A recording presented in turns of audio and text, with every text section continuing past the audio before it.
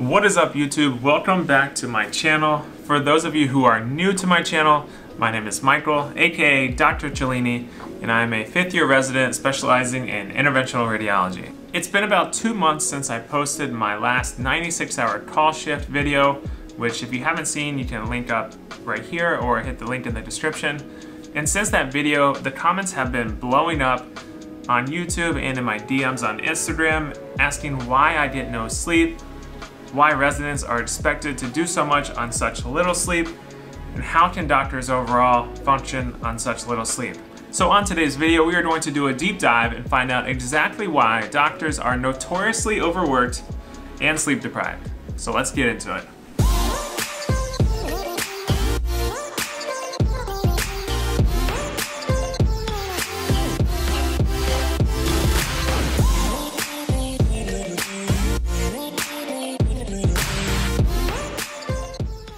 This video is sponsored by Motivate MD. Motivate MD is an entire platform devoted to healthcare professionals, making your life easier both in and outside of the hospital by providing you with services to make your life as productive as possible. They have a ton of different products on their platform, and I wanted to take a moment to talk about two of my favorite products they offer. The first product I wanted to talk about is their pre-med app which is specifically designed for pre-med students to keep them on track into getting into med school. My favorite part of the app is the focus timer, which allows you to set a specific amount of time to work on a specific target and allows you to make every second count. Now I also love the Motivate MD Planner, which is designed for anybody in medicine from pre-health students all the way to accomplished medical professionals. I actually use this planner every single day for six months in order to keep me on track for boards.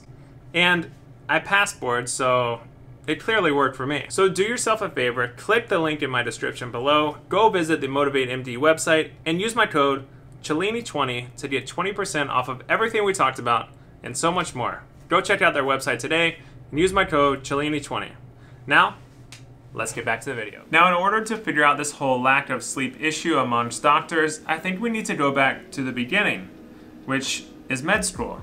And after all, med school is the first time where you kind of figure out how to function off of little sleep. The first two years of med school are also called preclinical years, and it's where you spend two years studying insane amount of material every single day. Now in these first two years of med school, massive amounts of information fly at you, and you have to keep up or you'll end up drowning on these seemingly enormous exams at the end of every two weeks or so. So if there aren't enough hours in the day, what would a med student do?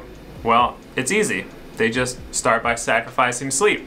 What any normal student would do. Many med students will consistently pull all-nighters in the weeks leading up to a test. And it's almost necessary at times to get through the amount of information that's thrown at you. I personally chose to go to bed on time each night, but I would wake up around 4.30 or 5 a.m. to start studying every day. So either way you look at it, you still end up losing sleep. And once you finally finish your first two years of med school, you're finally free and you get to go in the hospital and go on many different rotations of a ton of different specialties. And in order to match into a good residency, you need to have high marks on these hospital rotations. And in order to get the honors pass for these rotations, you have to go into the hospital early, work extremely hard throughout the day, and leave late. And you guessed it, you will inevitably sacrifice sleep doing this, especially when you're on a surgical rotation.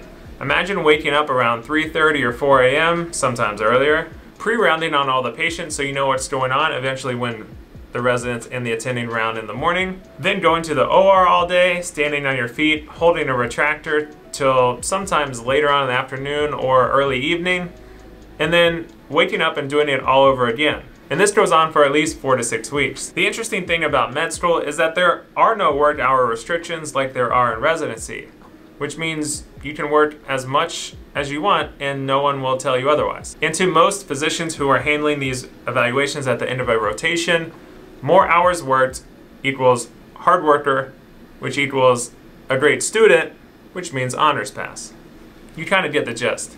Basically what I'm trying to say is you have to sacrifice sleep in your clinical rotations as well. Are you sensing a common theme here?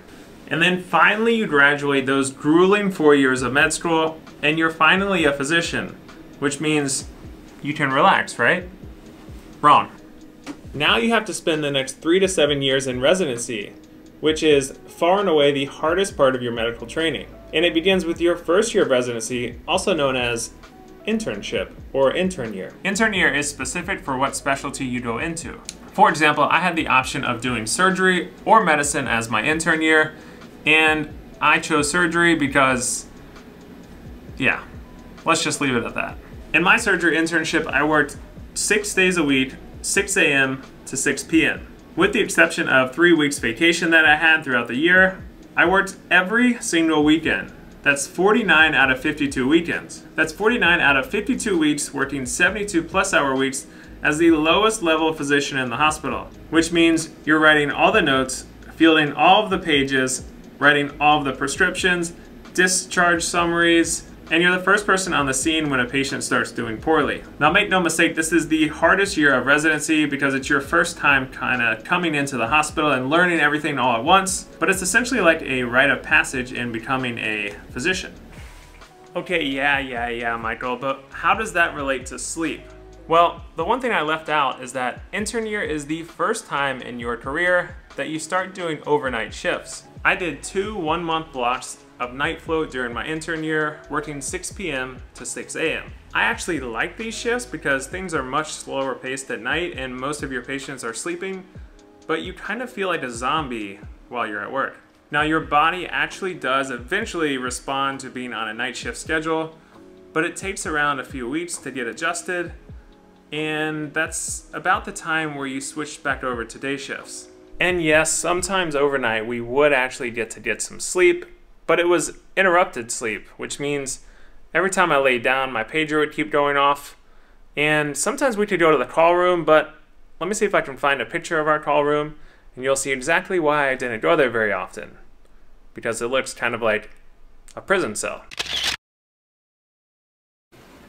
Now let's talk about the rest of residency, which is about three to seven years in most situations. My residency is actually six years long, and for example, neurosurgery is seven years long. It depends on the specialty. Now residency is pretty similar to intern year, but it definitely varies amongst specialties. Some surgery specialties have it far worse than say dermatology or even diagnostic radiology, for instance. Luckily though, in the US, we have an 80 hour work week restriction policy, which I went into more in depth on this video, which I'll link up here in the description. Now most residencies are set up the same way, which means the more years spent in residency, the more senior you become and the more responsibility you are given or expected. So for example, in my specialty, the third through fifth years, you are the most senior resident and you take the most call, which means now that I'm a fifth year resident or a junior fellow in interventional radiology, I take fellow call, which means I'm on call every four nights for 24 hour period and usually about one in four weekends on call. So how much sleep do I get on call?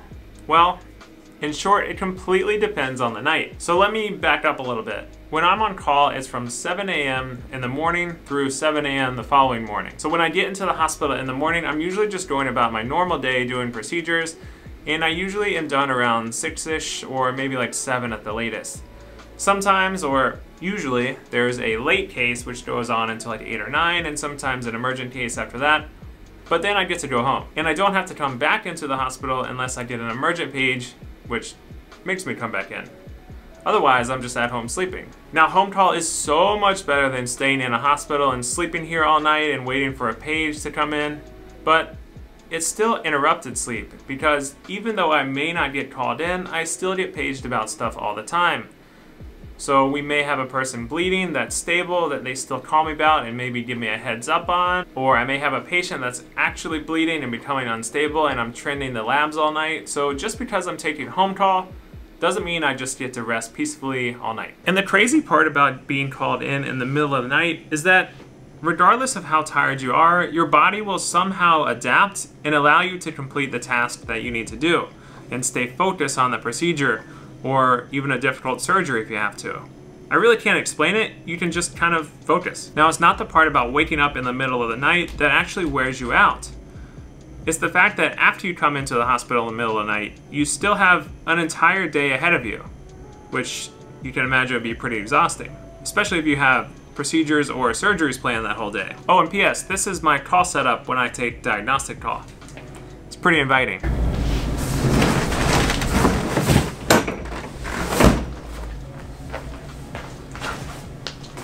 comfy pillow.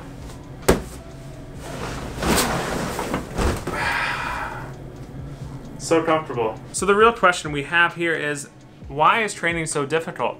Why are doctors so overworked? And why are we so sleep deprived because of it? Well, I think a lot of it is actually generational. I think part of it is that they feel like we should experience the same kind of training that they did and experience the grueling long shifts and stay in the hospital for days at a time. The thought of taking vacation back then was kind of comical.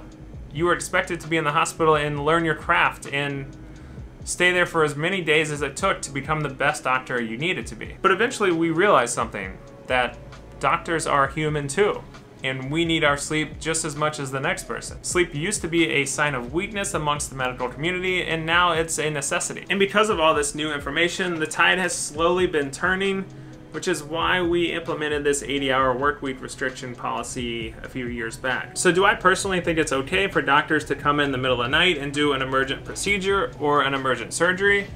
Well, yeah, I do. Because, I mean, Somebody has to, right? There really isn't another option. There aren't enough physicians in America to have one at every hospital in the US working an overnight shift. And you have to realize that's kind of expensive to have a physician in-house overnight because after all, the rate at which you come in overnight for me personally for interventional radiology is around 20%, which means of all the time that I take call, I only come in about 20% of the time. The other times, I may stay up and answer a few phone calls overnight, but I don't actually come in the hospital, which means I don't actually perform a procedure, which means for a physician that they would be paying to cover the hospital overnight for any emergencies that come in, it would be kind of a waste and the hospital wouldn't be getting their money's worth. Which, as we all know, at the end of the day, hospitals are businesses too. Now, of course, I wish I didn't have to come in in the middle of the night, and I wish I had a more laid-back schedule, but I also couldn't see myself doing anything else. Every doctor knows what they're getting into before they start residency, so for me it wasn't any different. I chose this avenue, I chose this specialty, because it's what I enjoy and it's what I love doing. So that concludes this video. I hope you guys enjoyed it. It's a little different than usual. Make sure you smash that like and subscribe button. Follow me on Instagram right here. If you have any questions, leave them in the comments below and I will try to answer them. Otherwise, see you guys on the next video.